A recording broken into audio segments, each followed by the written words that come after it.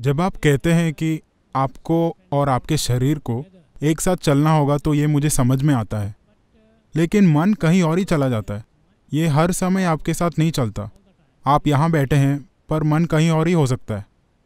तो कभी ये अलग हो सकता है कभी आपके साथ हो सकता है। तो ये मेरा पहला सवाल है। और इसके बाद?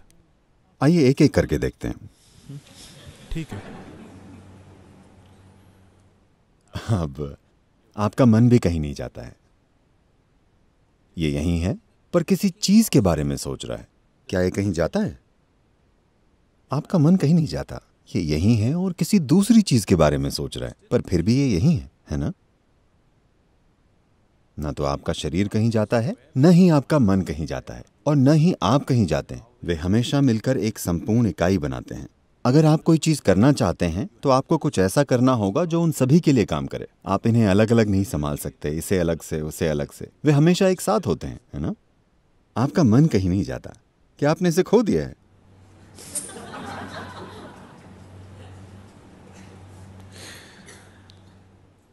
बात बस इतनी है कि आप अपने मन की कल्पनाओं से धोखा खा रहे हैं। ये यहीं बैठा है और कुछ कल्पना कर रहा है। ये कहीं नहीं जा रहा है।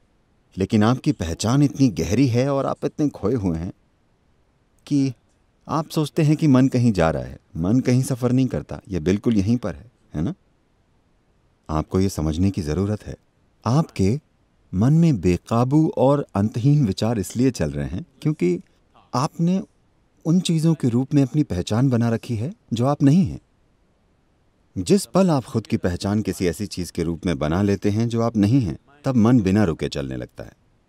आपने अपनी पहचान कई चीज़ों से जोड़ी हुई है और आप अपने मन को रोकने की कोशिश कर रहे हैं। मैं आपको बता रहा हूँ, अगर आप लाखों साल तक कोशिश कर लें तो भी ऐसा नहीं होने वाला। ये नहीं हो सकता। अगर आप अपनी गलत पहचानों को मिटा देते हैं, तब आप इसी पल देखेंगे कि आपका मन एक दर्पण की तरह होगा। ये कुछ नहीं कहेगा, बस हर चीज़ को परावर्तित करेगा। मन को ऐसे ही होना चाहिए। आपका मन एक ऐसा साधन है जो तभी सबसे अच्छा काम करता है, जब इसमें स्पष्टता हो, है ना? ऐसा ही है ना? आपका मन यहाँ हर तरह की काल्पनिक चीज़ों के बारे में सोचने के लिए नहीं है। वो जीवन में एक भटकाव है। आपका मन आपको जीवन में स्पष्टता और गहराई देने के लिए है।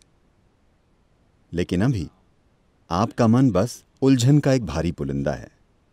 सिर्फ़ इसलिए क्योंकि आपने कई ऐसी चीज़ों के रूप में अपनी पहचान बना ली है जो आप नहीं हैं, और अब आप इसे रोकने की कोशिश कर रहे हैं। इसे रोक कर रखने का कोई तरीका नहीं है। आपने बहुत बुरा खाना खाया, और अब आपके पेट में गैस बन गई। आप उसे रोक नहीं सकते। आपने खराब खाना खाया है। नतीजा आ गया है। आपने गलती की कि कई चीज़ों के साथ अपनी पहचान जोड़ ली। अब यह लगातार चलता जा रहा है। आप इसे रोक नहीं सकते। इससे कोई फ़र्क नहीं पड़ता कि आप क्या करते हैं। आप भगवान के बारे में सोचिए। भगवान खुद आपको कई जगहों पर ले जाएँगे।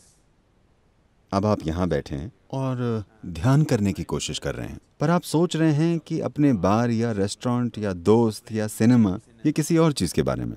अब लोगों ने आपसे कहा, भगवान के बारे में सोचो, सब ठीक हो जाएगा। अगर आप राम या कृष्ण के बारे में सोचते हैं तो आप पाएँगे, आप राम के साथ सिनेमा जाएँगे।